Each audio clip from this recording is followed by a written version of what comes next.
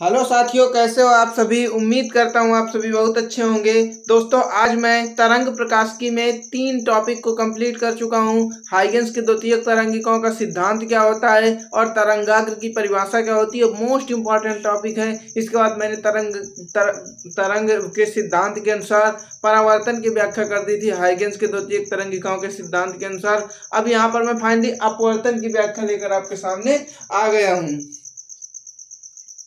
तो यहाँ पर हम लोग अपवर्तन की व्याख्या करेंगे। मैंने यहाँ पर चित्र पहले से बना लिया है, क्योंकि आपको चित्र बनाने में बहुत समय लगेगा, क्योंकि मुझे डेरिवेशन भी इसका करना पड़ेगा। इसलिए मैंने यहाँ पे चित्र पहले से कंप्लीट कर लिया मैं आपको समझा देता हूँ। ये कोई जेड जेड ऐसे एक परावर्तक पृष्ठ है, जिस पर मैंने एक तरंग डाली। जैसे मैंने यहाँ पर तरंग डाली, परावर्तित कराई तो प्रकाश का आपतन कोण आय होता है, परावर्तन कोण क्या होता है? आर होता है। तो जैसे ही मैंने यहाँ पे इस वेव को तरंग को यहाँ से आपतित करवाया तो यहाँ आपतन को आई बन गए, फिर इसके बाद इधर से चला और इस पर टकराया, जैसे इस पर टकराया, इधर परावर्तित हुआ, इसलिए यहाँ पर परावर्तन कोण आर बन गया। इसके बाद इन बिंदुओं को मैंने यहाँ पे नाम दे दिया है और यहाँ पे कुछ चित्र में नहीं हुआ है। तो मैं सबसे पहले इसकी थ्योरी जो होती है, वो मोस्ट मानी जाती है। डेरिवेशन भी मोस्ट माना जाता है, परंतु इसकी थ्योरी में समझा देता हूँ। इसमें डेरिवेशन है, परंतु परावर्तन की व्याख्या में आपको थ्योरी ज़्यादा देखने को मिलती है। तो यहाँ पर आपको सिंपल थ्योरी वही वाली लिखनी है, जो मैं यहाँ पे आपको समझा रहा हूँ। तो आपको लिखना है माना जेड जेड डैश। क्या लिखना है दोस्तों? माना जेड जेड डैश एक पर अपवर्तक पृष्ठ है। कौन सा? माना जेड जेड डैश एक अपवर्तक पृष्ठ है, जिस पर तरंगाग्र ए बी, कौन सा? जिस पर तरंगाग्र ए बी तिरछा आपतित करवाया गया है। क्या करवाया गया है? जिस पर तरंगाग्र ए बी तिरछा आपतित करवाया गया है। तरंगाग्र के प्रथम माध्यम के सापेक्ष जो है तर, इस तरंगाग्र की जो ये तरंगाग्र जो ए बी तिरछा आपतित करवाया गया है इस तरंगाग्र की प्रथम माध्यम के सापेक्ष चाल वी वन है तथा द्वितीय माध्यम के सापेक्ष चाल क्या है? वी टू है क्योंकि पर अपवर्तन का मतलब होता है माध्यम के अलग अलग प्रकाश के जो अलग अलग माध्यम होते हैं, वहाँ पे अलग अलग चालों का होना क्या कहलाता है? अपवर्तन कहलाता है। तो आप लिखेंगे क्या? माना जेड जेड डैश एक अपवर्तन पृष्ठ है, जिस पर तरंगाग्र ए बी तिरछा आपतित करवाया गया है। तरंगाग्र के प्रथम माध्यम में चाल वी वन तथा तरंगाग्र के द्वितीय माध्यम में चाल वी टू है। इसके बाद आप लिखेंगे तरंग तरंगाग्र ए बी का प्रत्येक एक द्वितीय तरंग का कार्य करता है एक नए कण का कार्य करता है जो कि द्वितीय तरंगिकाएँ कहलाती हैं। क्या क्या, क्या लिखेंगे आप यहाँ पर? तरंगाग्र ए बी का प्रत्येक कण एक द्वितीय कण की भांति कार्य करता है। किसकी भांति कार्य करता है? एक द्वितीय तरंग की भांति कार्य करता है। यही क्या कहलाती हैं? हाइगेंस की द्वितीय तरंगिकाएँ कहलाती हैं। इसके बाद यहाँ पे मैं आ जाता हूँ। इतनी बात आपकी फाइनल हो गई कि माना जेड जेड, माना जेड जेड डैश कोई परावर्तक पृष्ठ है, जिस पर तरंगाग्र ए बी तिरछा आपतित हो रहा है। प्रकाश के प्रथम माध्यम के सापेक्ष चाल वी वन तरंगाग्र की जो चाल है वी वन तथा प्रकाश के द्वितीय माध्यम के सापेक्ष तरंगाग्र की चाल वी टू है। तरंगाग्र ए बी का प्रत्येक का एक नए कण का कार्य करता है, इन्हें द्वितीय तरंगिकाएँ कहते हैं। इसके बाद आप लिखेंगे क्या दोस्तों? ये लिखेंगे तरंगाग्र बिंदु बी बिंदु बी को ए डैश तक आने में टी समय लगता है। कितना समय लगता है? टी समय लगता है। तथा ए को बी तक आने में भी टी समय लगता है। इन दोनों को आने में टी समय लगता है। अर्थात आप कह देंगे चाल बराबर। क्या कह देंगे दोस्तों? चाल बराबर दूरी बटे समय। दूरी बटे समय। तो यहाँ से आप जब समय की परिभाषा समय का सूत्र निकाल लेंगे, यहाँ से आपको निकालना है दूरी का मान तो यहाँ से मैं निकाल रहा हूँ बी ए डैश की दूरी का मान। तो मैं पहले चाल प्रथम माध्यम है हमारा, ये द्वितीय माध्यम है हमारा। तो पहले मैं इस प्रथम माध्यम की जो चाल है बी ए डैश तक की चाल निकालूँगा। तो यहाँ से चाल चाल हमारी क्या है? प्रथम माध्यम के सापेक्ष चाल क्या थी? वी वन थी। वी वन थी इसके बाद दूरी हमें क्या निकालनी है? बी ए डैश की। तो equal to B A dash upon हमें समय कितना लग रहा है दोस्तों? तो समय हमारा लग रहा है टी तो यहाँ से बी ए डैश बराबर जब निकालेंगे तो फाइनली हो जाएगा वी वन टी क्या हो जाएगा? वी वन टी इसको मान लेंगे क्वेश्चन नंबर फ़र्स्ट इसको क्या मान लेंगे? क्वेश्चन नंबर फ़र्स्ट इसके बाद यहाँ से जब मैं नेक्स्ट दूरी बराबर निकालूँगा, दूरी बराबर हमारा हो जाता है समय गुणा चाल. क्या हो जाता है? दूरी बराबर समय गुणा चाल. तो हमारे पास समय यहाँ पर टी लग रहा है और प्रथम तरंगाग्र में अपर प्रथम तरंगाग्र के सापेक्ष चाल क्या है? वी वन है. इसलिए यहाँ पर मैंने चाल वी वन और समय टी दे दिया. इसके बाद यहाँ से जब मैं निकालूँगा इधर बी ए डैश तक की दूरी मैंने निकाली थी, फिर इसके बाद ए बी डैश की जब निकालूँगा ए बी डैश तो यहाँ से दो तीन माध्यम के सापेक्ष चाल क्या हो जाएगी? वी टू हो जाएगी। चाल अब गुणता में समय तो समय यहाँ भी कितना लग रहा है? टी समय लग रहा है। इसको मान लेंगे क्वेश्चन नंबर सेकेंड क्या मान लेंगे? क्वेश्चन नंबर सेकेंड अब इसके बाद हम देखेंगे ये वाला जो हमारा त्रिभुज दिख रहा है ए बी ए डैश इस पर हम काम करेंगे तो समकोण त्रिभुज लिखेंगे यहाँ पर, समकोण त्रिभुज। कौन सा लेंगे? ए बी ए डैश यहाँ पे मैं ले लेता हूँ ए बी ए डैश में। अब इनमें हम क्या करेंगे दोस्तों? ए बी ए डैश में देखते हैं। हमारी जो ट्रायंगल के सामने वाली भुजा होती है, दोस्तों, मान लीजिए हमने ट्रायंगल बनाया था तो इसके जो सामने वाली, ठीक सामने वाली भुजा होगी, वह हमारी लंब कहलाती है। क्या कहलाती है, दोस्तों?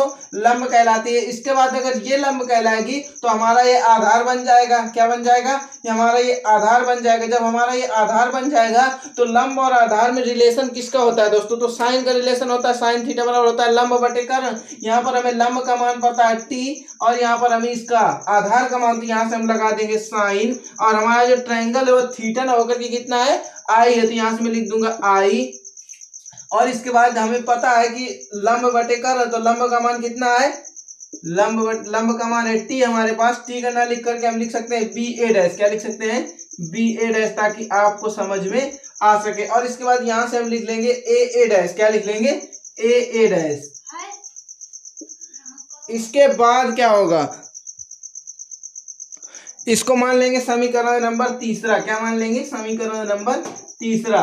इसके बाद यहाँ से हम क्या निकालेंगे? अब हमारे एक ट्रायंगल की बात हमारी खत्म हो गई। दूसरे ट्रायंगल पर जैसे ही आएँगे तो हम दूसरा ट्रायंगल ले लेंगे ए बी ए डैश क्या ले लेंगे दूसरा ट्रायंगल दोस्तों, हमको दूसरा ट्रायंगल भी वहीं पे लेना पड़ेगा। तो यहाँ पर हमने जब दूसरा ट्रायंगल लिया A B dash A dash तो यहाँ पर मैंने ले लिया समकोण त्रिभुज। यहाँ पे लिखेंगे आप समकोण त्रिभुज A B dash A B dash और ये हमारा क्या हो जाएगा? ए डैश अब इसमें हम क्या देखते हैं दोस्तों? यहाँ पर हम देखते हैं कि यहाँ पर हमारा जो है ट्रायंगल बना हुआ है। ट्रायंगल के ठीक सामने वाली जो भुजा होती है, उसे हम लंब मानते हैं। क्या मानते हैं? लंब मानते हैं। तो लंब हमारा क्या हो गया यहाँ पर? ए बी डैश तो यहाँ पर हम साइन का रिलेशन लगाएँगे क्योंकि हमें लंब और आधार इधर भी ज्ञात हो गए हैं। तो यहाँ पर हम जब यहाँ पर साइन थीटा बराबर होता है लंब बटे का, परंतु यहाँ पर थीटा का मान क्या दिया गया है? आर दिया गया है। तो आर बराबर, अब लंब तो यानी कि लंब का मान हमारा क्या दिया गया है? लंब हम सामने वाली भुजा मानते हैं ए बी डैश तो यहाँ पर ए और ये बी डैश इसके बाद अपान। अपान लगा देंगे ए बी डैश और हमें पता है कि लंब साइन थीटा बराबर क्या होता है? लंब बटे कर तो हमारे पास ये कर का कार्य करेगा ए ए डैश तो यहाँ पर हमारा जो ए ए डैश है, वो लिख लेंगे अपान में ए ए डैश अब इसके बाद इसे मान लेंगे समीकरण नंबर फोर क्या मान लेंगे? समीकरण नंबर फोर अब इसके बाद यहाँ पर हम क्या करेंगे? समीकरण समीकरण थर्ड भागे भागे क्या कर देंगे? फोर्थ। यहाँ पर मैं भाग देने वाला हूँ समीकरण एक और। समीकरण तीन और चार का तो यहाँ से क्या हो जाएगा? साइन आई अपान में sine are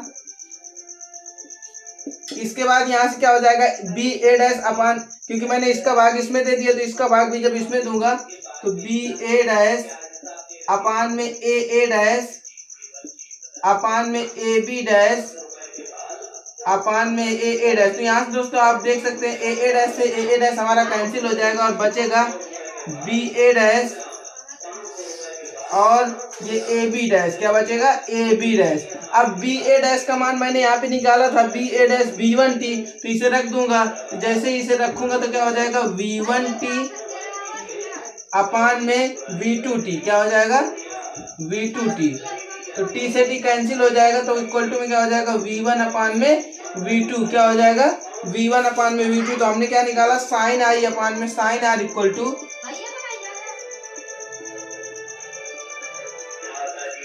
equal to V one upon में वी टू क्या निकालेंगे? वी वन अपान में वी टू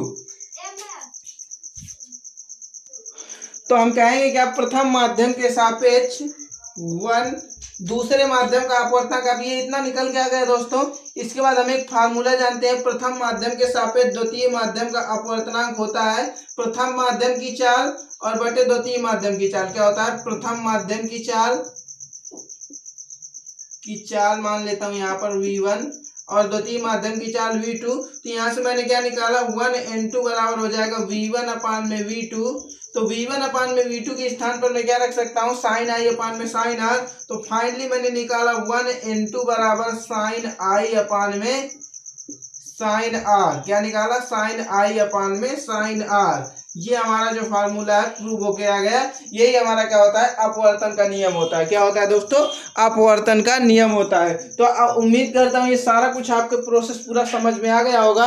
तो आज की वीडियो यहीं पे समाप्त करता हूँ। और हाँ अगर वीडियो अच्छी लगे तो यार ज़्यादा से ज़्यादा वीडियो को शेयर करना, ताकि सभी दोस्त आपके और भी इसका लाभ ले सकें। क्योंकि मैं यहाँ पे आपको जो देता हूँ ट्रिक एंड टिप्सें देता हूँ। आपको मार्गदर्शन के लिए मोस्ट इंपॉर्टेंट चीज़ें देता हूँ, जो इंपॉर्टेंट है आपकी पेपर में आ सकती हैं, उन्हीं को पढ़ाता हूँ। अन्यथा अन्यथा आपको कुछ नहीं करवाता। इसलिए ज़्यादा से ज़्यादा शेयर करना लाइक करना और सब्सक्राइब करना बिल्कुल भी मत भूलिएगा। हेलो दोस्तों, अब आप व्हाट्सएप के ज़रिए अपने किसी भी कठिन से कठिन फिजिक्स केमिस्ट्री मैथ के सवाल सवाल को सैल्यूशन 10 सेकंड में वीडियो सैल्यूशन पा सकते हैं। आपको करना क्या है? इस नंबर को जो आपकी स्क्रीन पर शो हो रहा है, आठ, चार सौ चार सौ इसको सेव कर लेना है और अपने क्वेश्चन की फ़ोटो खींचना है, जैसे कि इधर से आप अपने क्वेश्चन की फ़ोटो खींचेंगे, मान लो आपको कोई भी क्वेश्चन नहीं फ़ोटो खींचना है और आपको इधर से क्रॉप कर देना है और क्रॉप करने के बाद आपको उसी व्हाट्सअप नंबर पर सेंड कर देना है। दस सेकेंड के अंदर आपका वीडियो सोल्यूशन आपके सामने होगा। जैसे कि यहाँ से मैंने भेज दिया है, अब आपका वीडियो सोल्यूशन आपके सामने आ जाएगा। ये देखिए दोस्तों, आपके सामने आपका वीडियो सोल्यूशन आ गया है।